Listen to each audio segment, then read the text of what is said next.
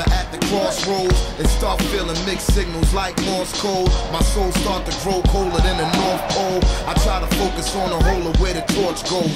In the tradition of these legendary sports pros. As far as I can see, I made it to the threshold.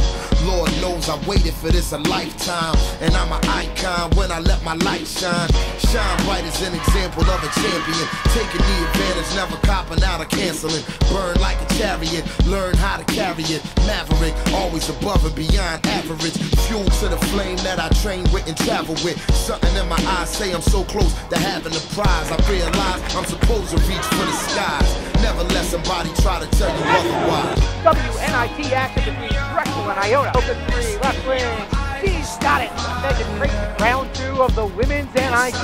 Marzan, crossover, side the left side. Reverse layup, it's good. To take on Bowling Green in the third round. Goes in against Wooten, rejected by Taylor Wooten, and Wooten picks up the ball. Here's the top of the key. Gonna take a three Mershon. Scoop right-handed shot. It's good. And the Dragons moving on to the Elite Eight. Down fast Mershon. Open three. He's got it. Up a left-handed scoop shot. No good. Wooten scoops in for the rebound and she puts it up and in Mershon. Dribbles to her right. Drives inside the lane. Kicks it in the corner. Fiona Flanagan a three from the right corner. It's good. The Drexel Dragons have knocked off the Auburn Tigers. Drexel is going to the Final Four.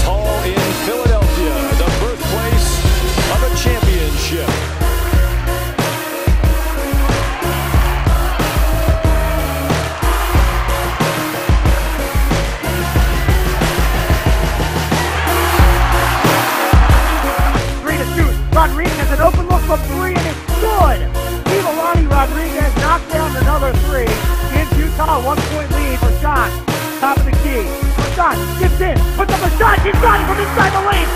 Jackson with a one-point lead. 44-43. 2.6 to go. Utah needs a three to tie. Well, they've got Blues, and she bobbles the ball twice. On the wing. No good. The women's